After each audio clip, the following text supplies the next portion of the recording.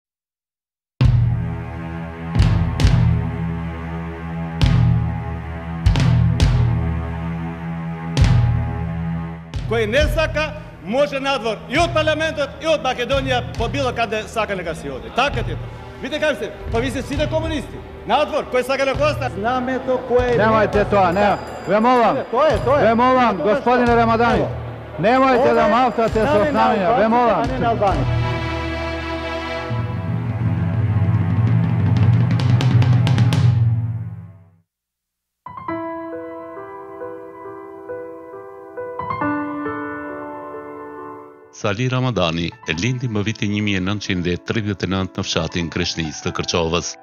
Ishte një nxënës i shkëlqyeshëm i cili me inteligjencën e tij përtej mesatares dallonte nga të tjerët që nga shkollimi fillor, të cilin e ndoqi në shkollën Përparimi të fshatit Greshnicë. Ai shënoi suksese edhe në shkollën tetëvjeçare Skënderbeu të Sërbicës, por edhe në shkollën normale të Shkupit, ku shpallet nxënësi i gjeneratës. Në mesin e atyre normalistëve kërçovarë, në bindjen tonë, dilte se Sali Ramadani është flamurtar midis tyre.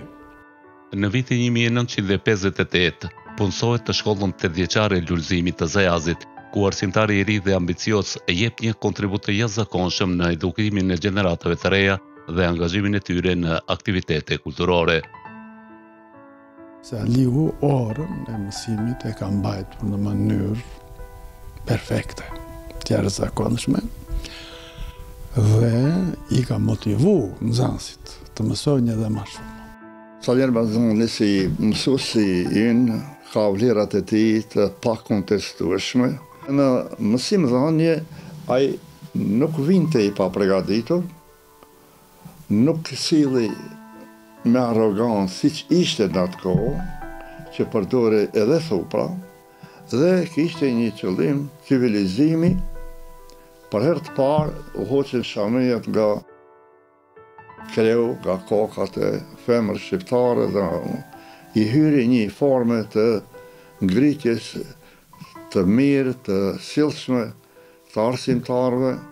Shumë vajza nuk i lejonin të shkojnë në shkollë pas mbarimit të fillores katërvjeçare dhe kështu kishte ndodhur edhe me motrat e Saliut.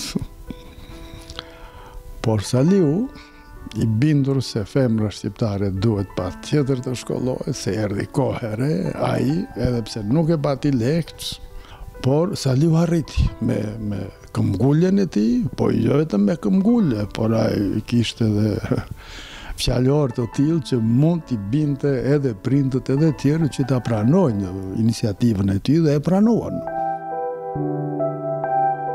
Vrulli i tij përkushtues dhe ndjenja e atdhedashurisë, e cila ishte brumosur nga familja dhe mjedisi ku jetonte, shpërthen fuqishëm me rastin e fjalimit të zjarrtë në gjuhën shqipe që e mbajti në mitingun e madh gjithëpopullor në Babunesë të Zajazit më vitin një mijë e nëntëqind e pesëdhjetë e nëntë.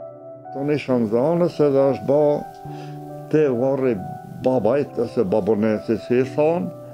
Është hapësirë e gjerë ku është bërë nëna shqiptare. Aty është ndërtuar dhe Saliu ka qenë shumë i gojës, i ka ditë të dyja gjuhët edhe ka ditë frëngjishten dhe është mbajt tubimi i përbashkët i Zajazit, i Kërçovës, i Gosivarit. Qëllimi kryesor i referatit, kështu thanë shkurtimisht, ishte jo vetëm ankesa për mosdhanie të drejtave neve shqiptarëve, jo vetëm në Kërçovë, por edhe kërkesa të caktuara, të cilat në atë kohë mund t'i parashtronte vetëm një njeri që kishte guxim të Sali Ramadanit. Duke i pasur parasysh këto rrethana të krijuara nga pushteti monist, në vitin një mijë e nëntëqind e gjashtëdhjetë e shtatë, Sali Ramadani kandidohet për deputet në zonën e Kërçovës. Për herë të parë, një djalosh i ri shqiptar merrte guximin që të ngrejë zërin e arsyes kundrejt padrejtësive që u bëheshin shqiptarëve, ndonëse këto drejta ishin të bazuara në gjakun e derdhur gjatë Luftës së Dytë Botërore. Në vitin një mijë e nëntëqind e gjashtëdhjetë e shtatë, aktivistë të shumtë nga të gjitha vendbanimet e këtij rajoni, në zyrën e kryetarit të Lidhjes Komuniste të Kërçovës edhe zyrtarisht, e kishin prezantuar mbështetjen për kandidaturën e Sali Ramadanit si kandidat i pavarur nga zona e Zajazit dhe Tuhinit. Unë e kam propozu dhe arsyetu kandidaturën e të nderuarit Sali Ramadani, mendonim se ashtë personi ma adekvat për atë vend pune dhe pjesa dërmuse e jonë u deklaru për kandidatin e mundshëm të nderuarin në Sali. E morën vesh se në Kërçovë ka edhe shqiptar kandidat, po një kandidat që ma kishte bë dy vepra të jashtëzakonshme, që s'i kishte bë askush tjetër përpara Saliut, dhe ne ishim shumë të bindur se Saliu do i fitoj zgjedhje, do bëhet deputet dhe deputeti Sali Ramadani, në kur dali të flasi në parlament, do parashtroj dhe kërkesa tjera të cilat Deri atëherë nuk kishte pas guxim t'i t'i parashtrojë asnjë kërçovar edhe prej komunave tjera, bile, bile ne studentët në Shkup, kishët, kishte një numër shumë të madh të studentave në Shkup në atë kohë 67-ën, jo vetëm nga Zajazi, po edhe prej rrethi, prej qyteti, Edhe ne u organizuam që kur të mbahen votimet edhe ne të shkojmë në Kërçovë dhe gjë normale se votën t'ja japim Sali Ramadanit.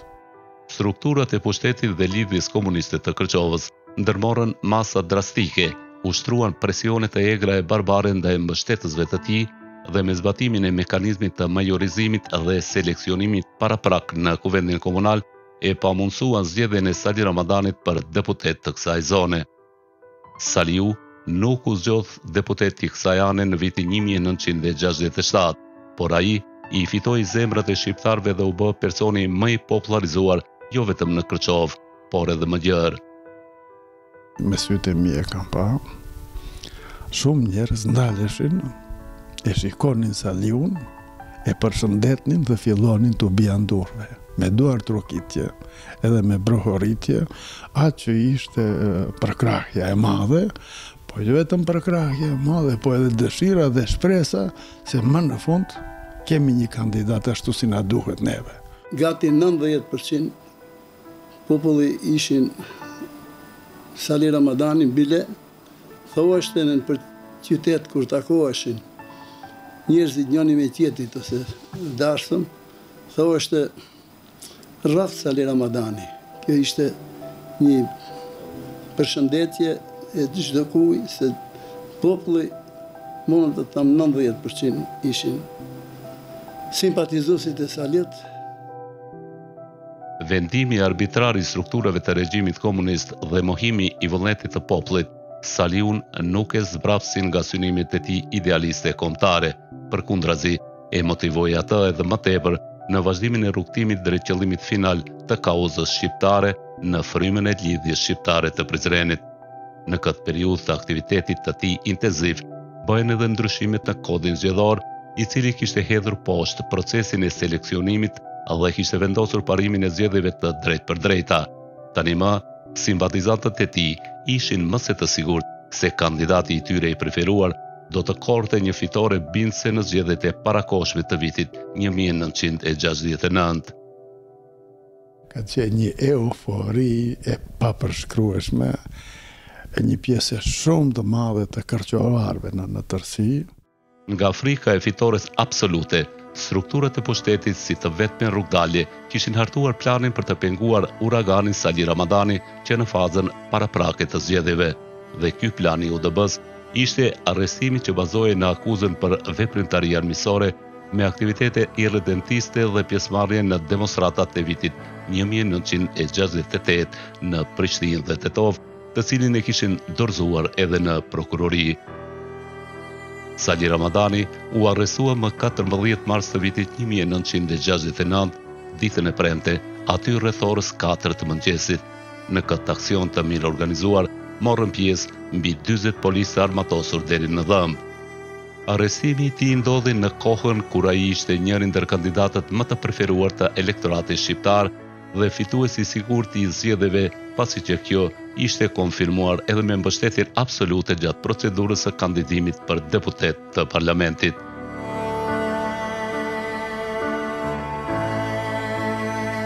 Përjetimet e tij në burgun e Shutkës ishin rrënqethëse. u përball me torturat çnjerëzore dhe presionet e papara gjatë procesit hetimor.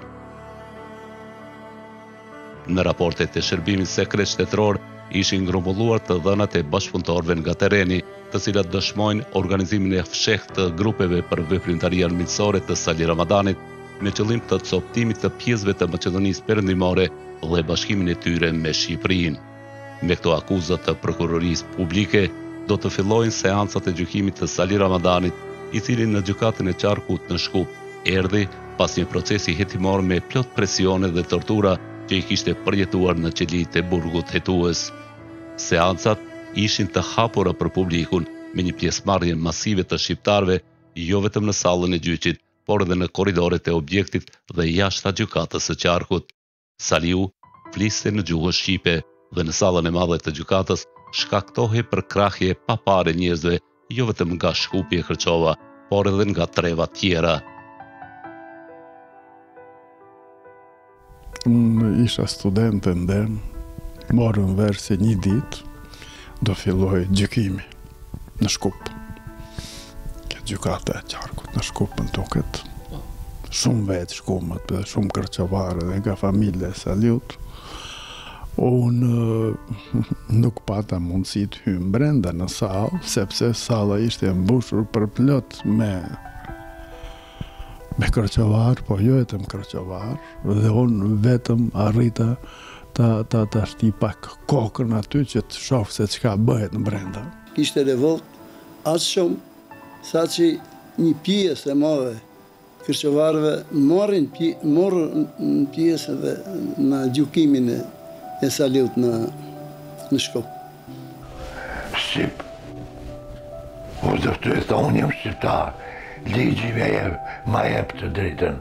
Sali Ramadani nuk pranonte të fliste maqedonisht edhe pse e dinte shumë mirë maqedonishten dhe i la pa mend edhe gjykatësin edhe prokurorin. Në 15 seancat gjyqësore të cilat pasqyroheshin edhe në mediat e kohës, Sali Ramadani kishte paraqitur një mbrojtje dinjitoze të paparë deri atëherë. Duke u bazuar në dëshmitarët e propozuar dhe raportet e organeve të UDB-së, prokuroria kërkonte dymbëdhjetë vite burg, sepse sipas lëndës së aktakuzës, ai në vazhdimësi kishte vepruar kundër integritetit të shtetit. Pas fjalëve përfundimtare të palës akuzuese dhe asaj mbrojtëse, në seancën e datës gjashtë shkurt të vitit një mijë e nëntëqind e shtatëdhjetë, trupi gjykues solli vendimin sipas të cilit Sali Ramadani, pas njëmbëdhjetë muajsh do të lirohet nga burgu për t'u mbrojtur në liri. Por, më njëzet e katër shkurt të vitit një mijë e nëntëqind e shtatëdhjetë e dy, Sali Ramadani arrestohet përsëri dhe Gjykata Supreme e dënon atë me dy vite burg. Më dhjetë qershor të vitit një mijë e nëntëqind e shtatëdhjetë e tre, Saliun e dërgojnë në mbajtjen e dënimit në burgun e Idrizovës, nga i cili doli krenar më nëntë shtator të vitit një mijë e nëntëqind e shtatëdhjetë e katër.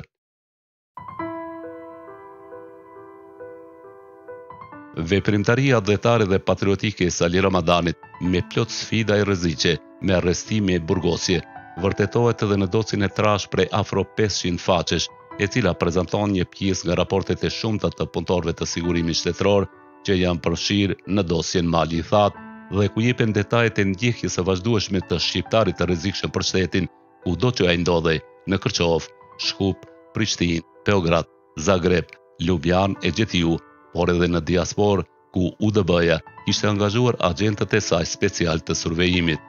Por, ndjekjet, presionet, arrestimet dhe burgosjet nuk e lëkundën atë nga vendosmëria e rrugëtimit dinjitoz drejt idealeve kombëtare. Përveç shumë të tjerëve, Saliu ka qenë ndoshta, ndoshta, personi më i përndjekur nga organet e sigurimit të shtetit të atëhershëm. Që atëherë Pushteti e ndiqte dhe e përndiqte kudo që shkonte, bile si rrjedhojë na ndiqte edhe neve që kishim kontakte të vazhdueshme. Pa dyshim që Sali Ramadani ka qenë i ndjekun e të gjithë familjarët, edhe në një farë mënyre të gjithë kemi vuajtur kush me burg, kush me përjashtime, diferencime, Por mënyra dhe forma e tij e punës ka qenë aq konspirative sa na, të them me një fjalë, kemi shpëtuar shumë lehtë. Pas pjesëmarrjes në dy fushata zgjedhore si kandidat i mbështetur nga populli por i penguar nga pushteti, i arrestuar dhe i dënuar në një proces gjyqësor të motivuar politikisht dhe me akuza të pabazuara, Sali Ramadani intensifikon veprimtarinë ilegale. Në funksion të këtij qëllimi, ai themeloi dhe udhëhoqi shoqatën Shkëndija në Zagreb, përpjekja në Beograd, shoqërinë kulturore artistike Xharexha në vendlindje, e cila kishte dhe degën e saj në Prishtinë, ndërsa më pas edhe shoqërinë kulturore artistike Xixa në Greshnicë. Kur formoi shoqatën Xharexha, ai edhe me edhe një dramë pregaditi, që në dramë në lujsha rolin kryesor, plaku me me qalë me gjanë, si, Mas andej, zotria, domethënë Sali Ramadani, i dha një frymë shumë pozitive fshatin Greshnicë. Saliu ishte person me një moral shumë të lartë, orator dhe këtë e barte e transmetonte edhe te gjithë brezat e ri, sidomos Ne studentët që kishim bashkëpunim. Këtë moral të lartë e ka transmetu edhe te anëtarët e Shoqërisë Kulturo-Artistike në fillim Xharexha në Zajas, pastaj sidomos bashkëpunimi ka vazhduar edhe me anëtarët e Shoqërisë Kulturo-Artistike Xixa të fshatit Greshnicë. Veprimtaria kulturore e Sali Ramadanit ka filluar qysh në vitin një mijë e nëntëqind e pesëdhjetë e nëntë dhe në mënyrë të hapur është shfaqë në vitet e gjashtëdhjeta me themelimin e Shoqërisë Xharexha dhe ky aktivitet kohë pas kohe është shfaqë ma pastaj në vitet shtatëdhjeta në Prishtinë ku ka funksionu një degë e Shoqatës Xharexha mirëpo me ndryshimin e rrethanave të kohës Me avancimin e të drejtave dhe statusit shqiptarëve, sidomos në Kosovë, pas vitit një mijë e nëntëqind e shtatëdhjetë e katër, duhej të ndryshohej forma e veprimit. Do të thotë se ideja për formimin e shoqërive kultur-artistike nga ana e Sali Ramadanit dhe organizatës tonë ka qenë tjetër fare. Në fakt ka qenë shoqëri kultur-artistike, po pas saj është kamufllu një aktivitet tjetër, Jehona e këngës Xixa u përhap së tepërmi për shkak se përmes kësaj kënge qoftë Sali Ramadani edhe ne në mënyrë të tërthortë ose direkte, mundoheshim të nxisim dhe të kultivojmë ndjenjat kombëtare të shqiptarëve të cilët ishin të shtypur, sidomos në atë kohë, në aspekt të kulturës dhe të arsimit.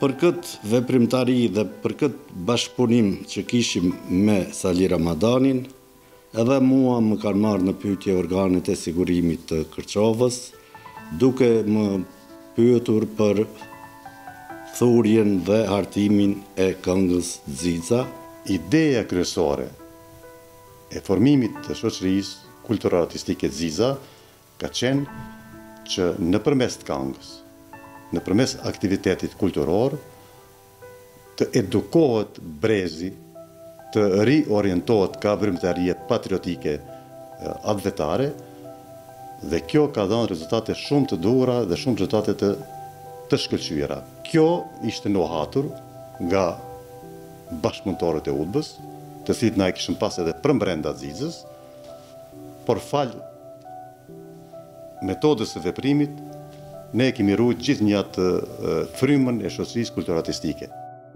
Dëshmi e këtyre aktiviteteve është edhe dosja e Sali Ramadanit ku agjentët e Shërbimit Sekret Jugosllav kishin grumbulluar informacione me të cilat konstatonin se grupet e nxënësve dhe studentëve që u printe Saliu në organizimet kulturore Ishin grupe të indoktrinuara të irredentizmit dhe separatizmit shqiptar që vepronin kundër shtetit jugosllav.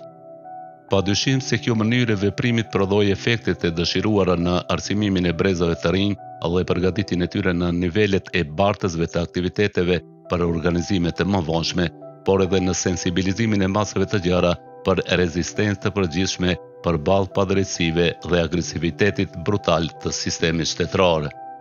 Veprimtaria e tij ilegale dendësohet me themelimin e organizatave Besëlidhja për Çlirim dhe Bashkim Kombëtar dhe Bashkësia Universale Shqiptare, të cilat kishin mbledhur veprimtarë të guximshëm që vepronin në mënyrë ilegale dhe gjysmë ilegale, por me objektiva të qarta drejt zgjidhjes finale të çështjes shqiptare në ish-Jugosllavi.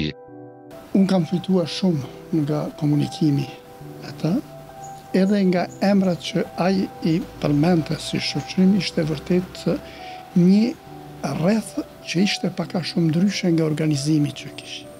Jo të gjithë ata ishin të organizuar në veprimtari ilegale politike, por ishin njerëz të vullnetit të mirë që do të mund të ishin, si të thush, në dobi të punës që bënte Saliu në mënyra të ndryshme.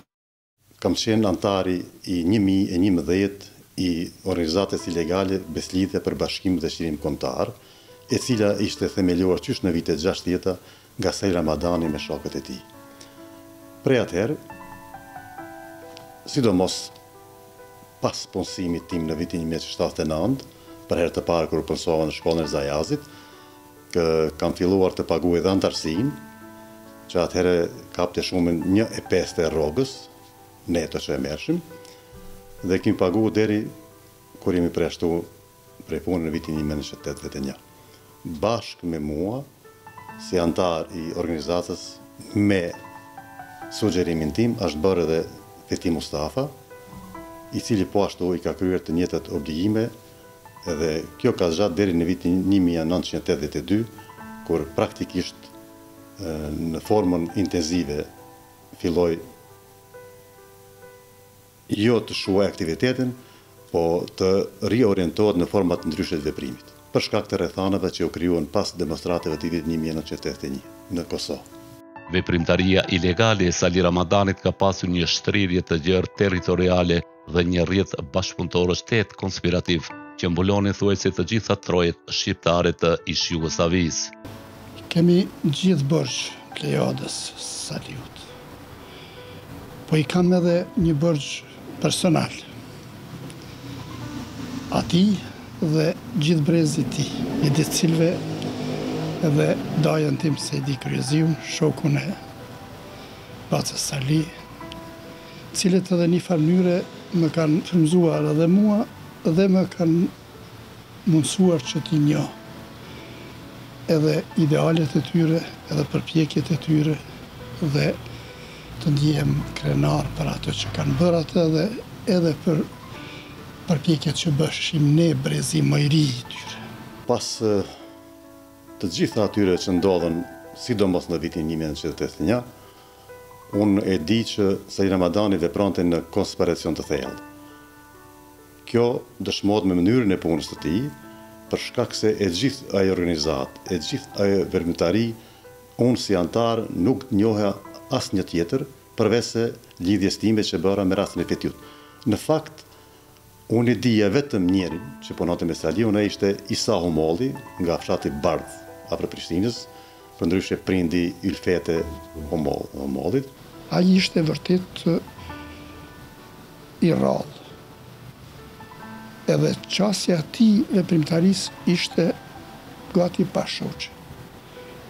Gjithandej efekte por jo edhe pretekste që pastaj lehtë të binte në grackat e UDB-së. Pas kontributit të çmuar atdhetar dhe pasi kishte kryer detyrat në trevat etnike shqiptare, veprimtari i çështjes kombëtare Sali Ramadani me familjen e tij zhvendoset në Evropë, ku vazhdon aktivitetet për ndërkombëtarizimin e çështjes shqiptare.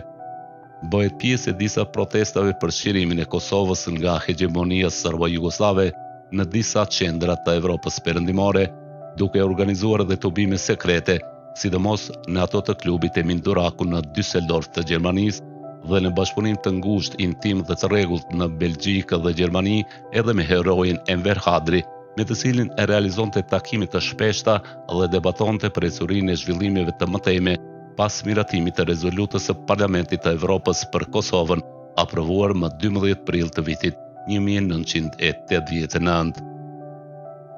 Meqë ishte tash mërgata forca që po shtynte proceset dhe s'kish që bënte shovinizmi serbomadh, udba Ai pastaj u zhvendos në Skandinavi dhe bëri punë të madhe. Vërtet ka qenë i jashtëzakonshëm, po ka pas edhe një angazhim shumë të zor. Gjithmonë dyqysh ka luftuar me gjoks. Ka luftuar me gjithë kundërshtarët pa dallim.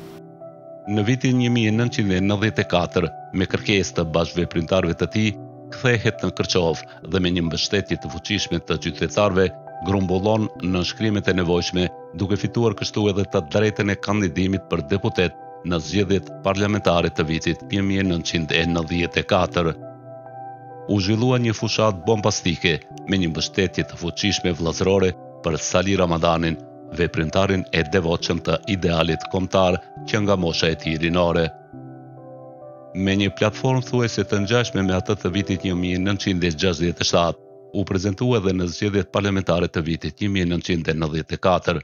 Programin e detajuar të këtyre zgjedhjeve Ai e prezantoi në tubimin qendror që u mbajt në palestrën sportive ku ai, para simpatizantëve të tij të flaktë, u paraqit me veshjen tradicionale shqiptare.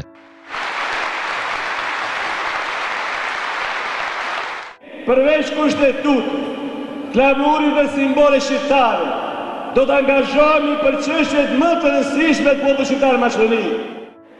Do të bëjmë çka mos që gjuha shqipe të jetë gjuhë zyrtare, jo gjuhë e përkthyer, por gjuhë zyrtare e shqiptarëve në Maqedoni. Do të kërkojmë që Ose fqinjët tanë të mirë maqedonas ta mësojnë shqipen edhe në Gjevgjeli, Koçan e Shtip dhe gjetiu ose do të hiqet edhe maqedonishtja nga shkollat shqipe kjo është barazia kjo është hiri i vërtetë kjo është demokracia. Mbështetja masive e shqiptarëve gjatë fushatës parazgjedhore nuk mungoi edhe në ditën e zgjedhjeve. Pas numërimit të votave, Sali Ramadani Kërçova shpallet fitues i zgjedhjeve dhe merr mandatin e deputetit në Parlamentin e Maqedonisë. Me aktin e tij të guximshëm në seancën parlamentare të datës tetë shkurt të vitit një mijë e nëntëqind e nëntëdhjetë e pesë, duke folur shqip në debatin për Projektligjin e Përdorimit të Gjuhëve, Sali Ramadani realizoi njërën ndër pikat programore dhe premtimin e dhënë para elektoratit shqiptar. Gjithmonë, gjithmonë fliste në fillim nga një fjalë shqip. E hapte me shqip edhe e mbyllte me shqip. Sepse aso kohë nuk lejohej që ne të flisnim shqip, ende nuk ishte sjellë ligji, që ndërkohë ai këtë e bënte gjithmonë, duke ua bërë me dije se kjo një ditë do vijë. Edhe për fat të mirë sot ia ka ardhur dita që secili prej nesh, prej deputetëve tanë, mund të shprehet në gjuhën amtare. Edhe përkundër reagimeve të shumta të deputetëve maqedonas dhe kryetarit të Kuvendit, deputeti Sali Ramadani nuk e ndali fjalimin në gjuhën shqipe. Përkundrazi, ai me vendosmëri të plotë, e vazhdoi prezantimin në gjuhën amtare, duke dhënë arsyetime të qëndrueshme se gjuha shqipe duhet të vendoset në përdorim zyrtar jo vetëm në parlament, por edhe në institucionet tjera shtetërore të nivelit qendror dhe lokal. Ai do të mbahet mend edhe për fjalët që u tha deputetëve maqedonas para se ata ta lëshojnë sallën e Kuvendit në mënyrë demonstrative, dilni jo vetëm nga parlamenti, por edhe nga Maqedonia. Kvo vadis Macedonio, ku po shkon Maqedoni, kade odish Makedonio. Nuk kam diskutuar gjer më sot, Pauza! Koj ne saka mozhe nadvor, i od parlamentot, i od Makedonija, po bilo kade saka neka si odi. Taka ti, po. Vide kazha se, pa vie se site komunisti. Nadvor, koj saka neka osta.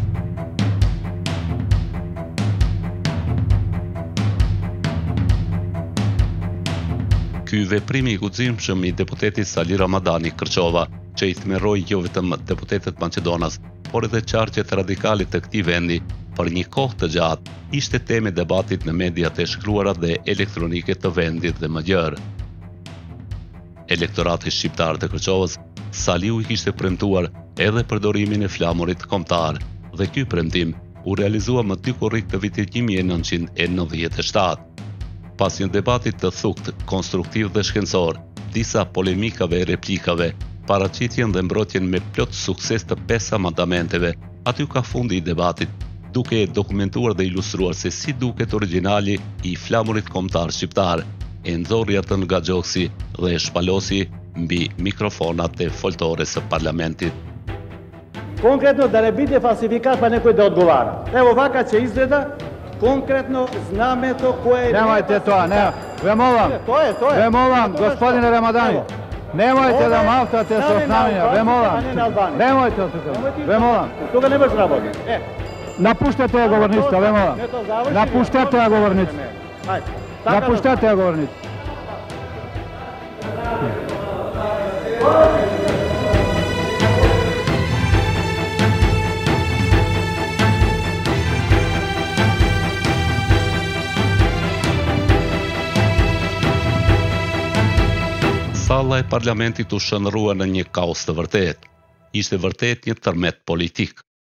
dhjetëra deputetë të partive maqedonase me fyerje dhe ofendime tentuan t'ia marrin me forcë flamurin, por nuk ia dolën sepse Saliu ishte i gatshëm që ta mbronte atë edhe me çmimin e jetës. Ishte ky edhe një akt i guximshëm dhe i paparë deri në ato momente. Ishte vërtet një sfidë e madhe dhe me karakter historik që i bëri krenarë të gjithë shqiptarët, por i tmerroi deputetët maqedonas dhe qarqet e errëta të cilat prej kohësh e kishin penguar valvitjen e flamurit kuqezi, jo vetëm në vende publike dhe institucione shtetërore, por dhe në ambiente private apo gëzime familjare. Bisedohej për çështjen e simboleve kombëtare dhe në një moment pa na treguar neve fare, ai në atë zarfin që kishte përgatitur ai në vend të letrave kishte futur flamurin kombëtar. Dhe ne nuk dinim gjë, nuk dinim gjë, zbritëm poshtë në sallë ku duhet të fillonte mbledhja, udhëheqte në atë kohë e mbaj mend Tito Petkovski ka qenë dhe ai kishte si moto e kishte gjithmonë e ngacmonte ia bënte i posle Tito Tito, domethënë dhe pas Titos Tito. Kjo ishte motoja e tij dhe ne gjithmonë i thonim Baci Sal mirë ia bën domethënë sepse atë e irritonte ajo shprehja aty dhe mbaj mend që duke diskutuar në një moment neve nuk na kishte informuar se do ta bënte atë veprim nxori flamurin kombëtar dhe iu tha në gjuhën maqedonase s'ka nevojë tha ju të frigoheni pse trembeni flamuri shqiptar është ky tha në qoftë se doni ta shifni si duket E hapi zarfin dhe e nxori atë dhe e vari në foltore aty. Zunë të reagojnë ato në një mënyrë shumë të ashpër. Flamuri atëherë ishte i ndaluar. Dhe ky mori guximin si deputet ta shpalosë flamurin, një flamur goxha të madh, edhe t'u drejtohet edhe deputetëve maqedonë. Ky flamur nuk u bën asgjë të keqe, nuk u kafshon. Me guximin e vet ai, E ngriti flamurin kombëtar e ai njësoj sikurse tash ai i Preshevës që e ngriti flamurin në Kuvendin e Serbisë. Për mendimin tim, Sali Ramadani është një legjendë që ka kalu dimenzionet, dimenzionin e kohës së vet dhe është identifiku me idealet e popullatës shqiptare të Kërçovës dhe të Maqedonisë. Në cilësinë e deputetit, mbështeti arsimin shqip e në veçanti themelimin e Universitetit të Tetovës dhe kërkoi zyrtarizimin e tij jo vetëm në Parlamentin e Maqedonisë, por dhe në përfaqësitë diplomatike të shteteve perëndimore në Shkup. Në fokus kanë qenë dy elemente të rëndësishma në atë kohë, çështja e arsimit shqip dhe çështja e Universitetit të Tetovës, sepse në vitin një mijë e nëntëqind e nëntëdhjetë e katër, siç e dini ju, U ngrit iniciativa për një universitet shqiptar, i cili siç e dini vetë nëpër shumë sfida kaloi, nëpër shumë periudha jo të kënaqshme, ndërsa Baci Salë është i njohur edhe për veprimet tjera të cilat natyrisht e karakterizonin për guximin e tij, për trimërinë e tij, për përgatitjen profesionale. Duke u bazuar në stenogramet e parlamentit, Sali Ramadani gjatë mandatit të tij katërvjeçar si deputet, ka propozuar dhe mbrojtur me sukses qindra amandamente. Prandaj, nga ekspertët e kësaj lëmie, ai vlerësohet si deputeti më sasior dhe më cilësor i historisë së parlamentarizmit në Maqedoni. Për këto merita, Populli shqiptar Sali Ramadanit i dha epitetin Deputeti i Krenarisë Kombëtare. Sali Ramadani shquhet edhe në fushën e gazetarisë dhe veprimtarisë krijuese, të cilën ai e filloi qysh në moshë të re dhe e vazhdoi deri në frymën e fundit. Është autor i librit Kosova, zemra dardane ilire, i botuar në vitin një mijë e nëntëqind e nëntëdhjetë e nëntë dhe i promovuar në Prishtinë, Prekaz dhe Skenderaj. Ai la të gatshme për botim shumë dorëshkrime me veprimtari krijuese universale.